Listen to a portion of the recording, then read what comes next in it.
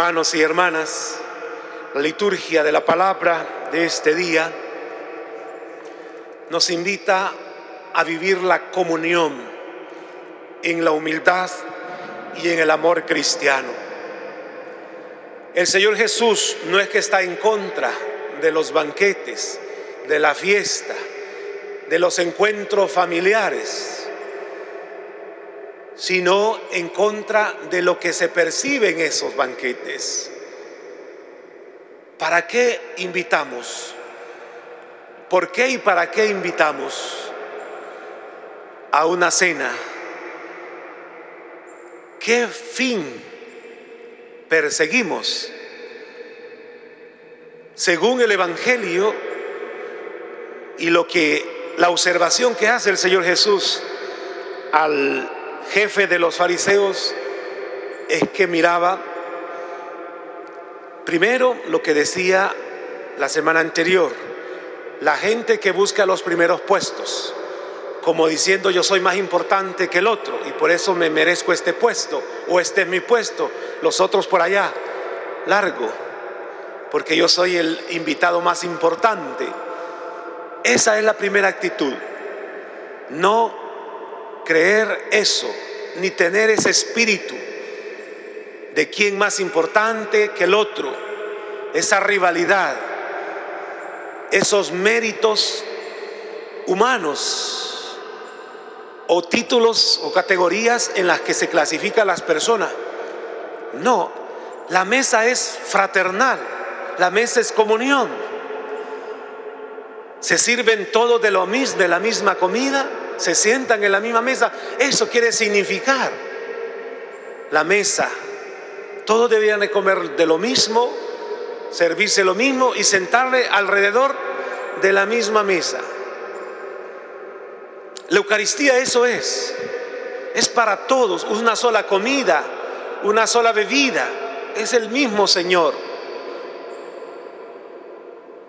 Pero si en las categorías humanas y en las relaciones interpersonales, sociales y familiares se va dando esa categorización y esa subdivisión de que este es más importante que el otro, ahí no reina la comunión, la fraternidad, sino el interés.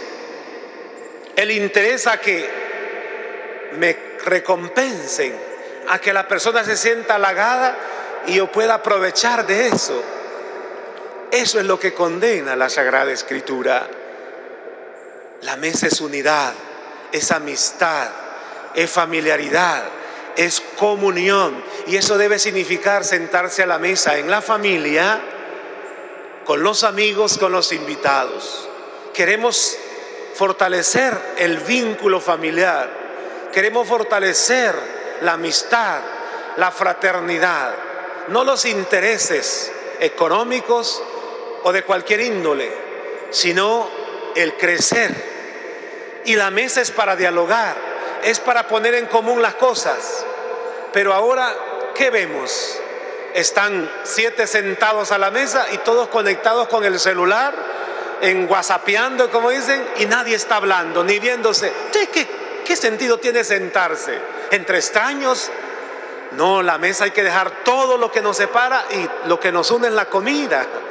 Es el, el, acontecimiento, es la ocasión que estamos celebrando, es el espíritu de familiaridad, de comunión que nos debe. Ojo, tengamos que tener cuidado. No hay duda que las amistades y todas las cosas surgen de la mesa. Por eso el Señor dice que eso es sagrado. El compartir una cena, una comida, debe ser no para excluir, sino para incluir. Y claro, para un cristiano no se puede olvidar a los pobres, que son los lisiados, los cojos, los ciegos, personas que se van a sentir agradecidas y no comprometidas a devolvernos porque no tienen, tal vez por su situación, pero es satisfactorio saber que esa mesa que tenemos, gracias a Dios que comer, no hay que desperdiciar nada, que hay que tener en cuenta que hay otras personas que lo pueden necesitar. ¿Cuánto derroche cuánta comida se desperdicia en los grandes restaurantes, en la cena de la familia, porque no pensamos en estas personas. Nada se debería desperdiciar. Eso es injusticia. Ante tanta hambre que hay en el mundo, pero hay más desperdicio. Y por eso hay hambre, porque no hay conciencia. Entonces cuando yo me siento a la mesa, primero dar gracias a Dios por esta comida.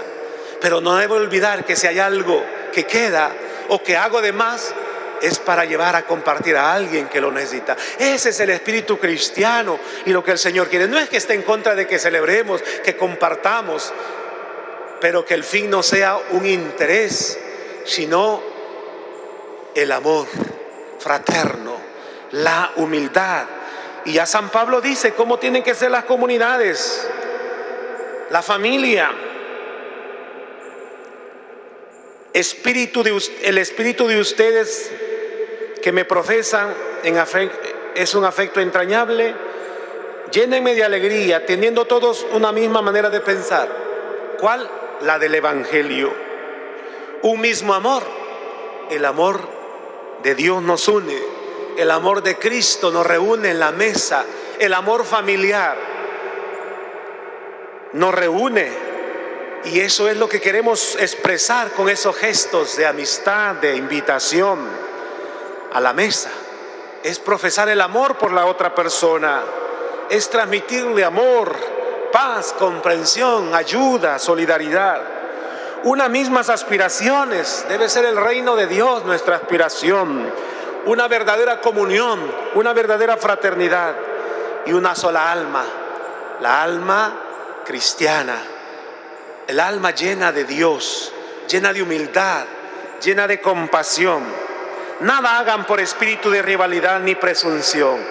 Antes bien, por humildad, cada uno considera a los demás como superiores a sí mismo.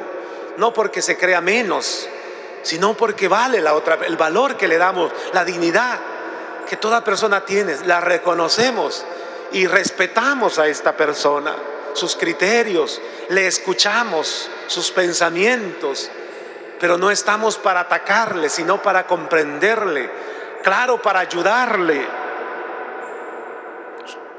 Y no busquen su propio interés, sino el, el del prójimo. Ahí está la conclusión. No nuestro interés. Yo no invito por interés, yo invito por amor, por amistad.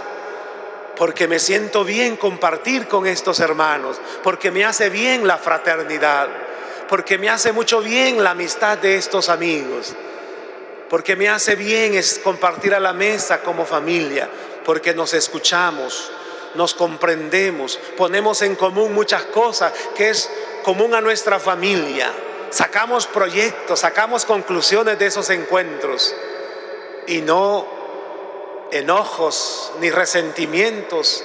Superamos cualquier dificultad. En la mesa se deben superar esas cosas que a veces falta, falta de diálogo, de comprensión. La mesa debe servir para todo ello, nunca para pelear, nunca para excluir, nunca para hacer sentir mal a la otra persona, sino que se sienta bien, como Jesús se sentía en, en Betania con Lázaro, Marta y María y le gustaba compartir la mesa con estos amigos, porque se sentía bien, escuchado, servido, comprendido, amado, hospedado. Qué lindo es llegar a un hogar donde uno, como dice, se siente en casa. Y así hay gente que lo hace sentir, no solo se lo dice, sino que uno se siente por ese espíritu de comprensión, de caridad, de solidaridad. A esto nos invita hoy la palabra. No es que prohíbe el Señor que nos reunamos, que comamos juntos, que celebremos juntos, sino que no excluyamos, que no busquemos intereses más que el bien, el bien familiar, el bien cristiano, el reino de Dios, la humildad. Y para eso se requiere humildad, compasión, comprensión. Y la solidaridad y la gratuidad, no olvidarla. Si tenemos pan y comida, no olvidemos que hay otros que necesitan y que esa mesa también se extiende para ser solidario con los más pobres y no tirar, no desperdiciar la comida, porque eso es pecado. Ante tanta hambre, pero mucho más el desperdicio, eso es injusticia. Entonces pensemos eso. Si algo hice de más o alguien no comió lo que preparé, pues otro lo necesita, otro lo quiere. Enséñele a sus hijos, a sus nietos, a no desperdiciar los sagrados alimentos y que se queda, queda para los otros hermanos que no están en esa mesa, pero que están en mi corazón, porque el Señor me lo pide y yo vivo el Evangelio, vivo la caridad, pues le llevo. ¿Cuánta gente se encuentra uno en la calle? En vez de dar dinero para, para algunas cosas a veces dañinas, pues yo digo que la comida, si te la valoran bien, si la aprovechan bien, yo sé que la mayoría, porque hay una gente que lo que pide es dinero, aunque para la comida, pero no, es para el vicio. Es ese alimento, compartámoslo, nunca desperdiciemos.